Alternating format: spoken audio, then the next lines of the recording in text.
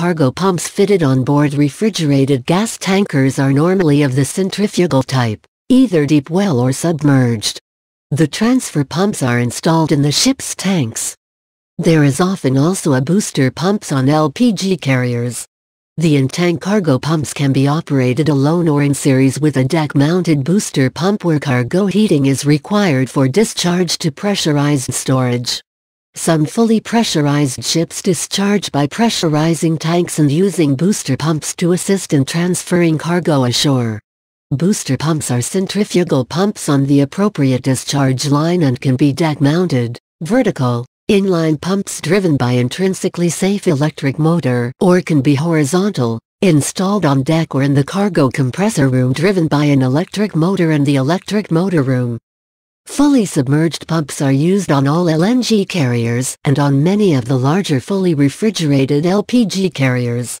The pump assembly and electric motor are close coupled and installed at the bottom of the cargo tank. Power is supplied to the pump motor through copper or stainless steel sheathed cables passing through a gas-tight seal in the tank dome and terminate in a flame-proof junction box. Submerged pumps and their motors are cooled and lubricated by the cargo and therefore susceptible to loss of flow rate damage. Deep well pumps are very common on LPG carriers.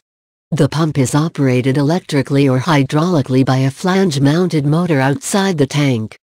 The drive shaft is guided in carbon bearings inside the discharge tube. The bearings are cooled and lubricated by cargo flow up the discharge tube. The impeller assembly is at the bottom of the tank is either a two or a three-stage impeller with a first-stage inducer. A spray pump is a low-capacity pump installed in some gas carriers. Function may vary but they are generally used for spray cooling tanks to reduce temperatures sufficiently to allow loading to proceed. Can also be used for cooling lines or stripping lines before warm-up. Spray pump used on some steam turbine LNG carriers to supply LNG to a forcing vaporizer to provide additional boiler gas fuel. Compressors are used as vapor pumps to either compress or move cargo vapor.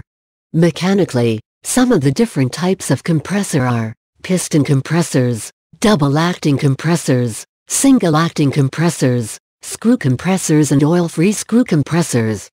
Compressors need to be protected against the possibility of liquid entering and seriously damaging the compressor. A compressor suction liquid separator is installed on the compressor suction line from the cargo tanks. The pot on this liquid separator is fitted with a high-level sensor which sets of an alarm and trips the compressor. The high-duty gas compressor fitted on board the ship is used to return the gas displaced during loading to shore during cargo loading. It is also used to circulate the containment system during warm-up. Peak demand will typically require the use of two compressors operating in parallel.